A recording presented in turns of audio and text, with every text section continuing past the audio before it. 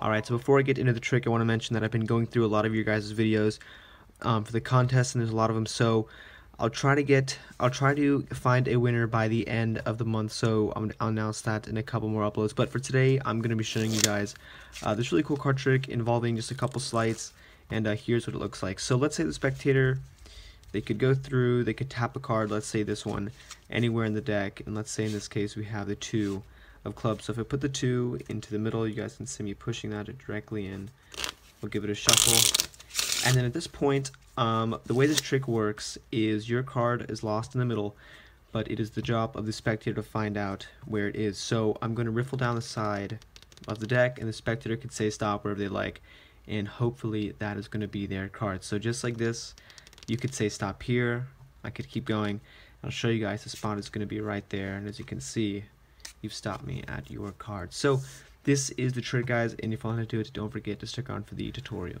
Alright so the idea behind this entire trick is that uh, the spectator is the one essentially doing the magic so they have a say you know where you stop the cards you know it's kind of like up to them um, you know how the trick turns out and obviously it's going to turn out the way it should so the whole point uh, or actually the whole entire the way this trick works is you could have, the way I did the performance was I did a double lift, and I'll leave a link on the screen for that.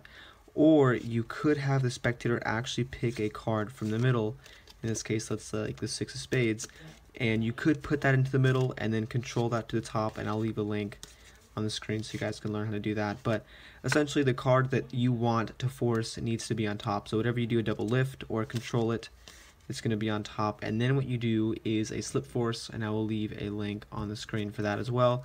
Um, but essentially the card's on top.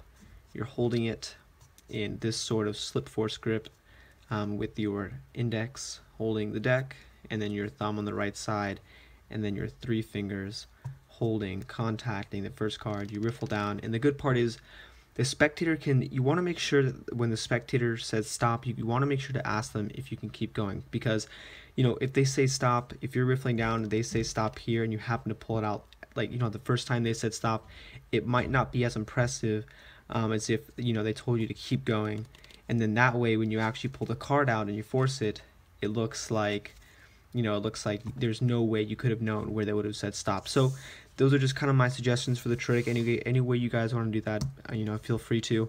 But that's just kind of the idea of the trick. Hope you guys like it. And as always, thanks for watching.